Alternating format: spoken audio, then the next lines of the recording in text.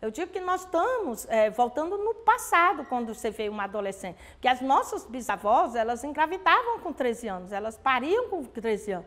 Mas que eu considero hoje um avanço, porque aquilo era uma violência. Não é? Nós passamos anos para sair de casamento arranjado para estar em 2017 com uma adolescente grávida. Quando a gente tem método contraceptivo, quando a gente tem que estar avançando. Eu acho um absurdo que nós, a gente esteja em 2017 e eu estou segurando essas camisinhas aqui para dizer que nenhuma menina em geral, que a gente vai falar sempre no geral, né? Por exemplo, 80% das adolescentes, das meninas, ou mesmo das mulheres adultas, não tem uma camisinha dentro da bolsa.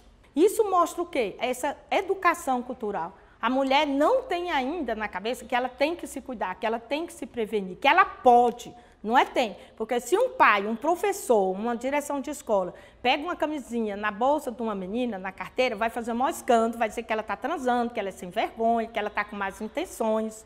Se um adolescente vai no centro de saúde pedir camisinha, um método contraceptivo, ela vai ter dificuldade. Então, dizer, eu digo que a gente tem uma, uma coisa perversa com os adolescentes, que nós somos perversos.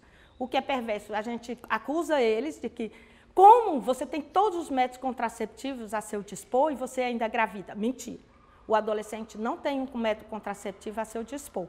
Ter acesso é quando eu oriento.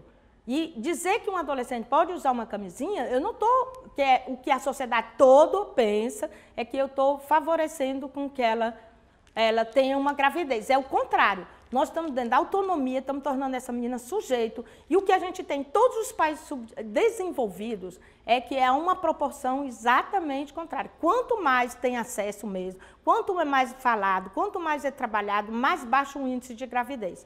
Então, esse discurso nosso de que não pode, tem que sabe, ele só provoca gravidez na adolescente, porque não prepara. Então...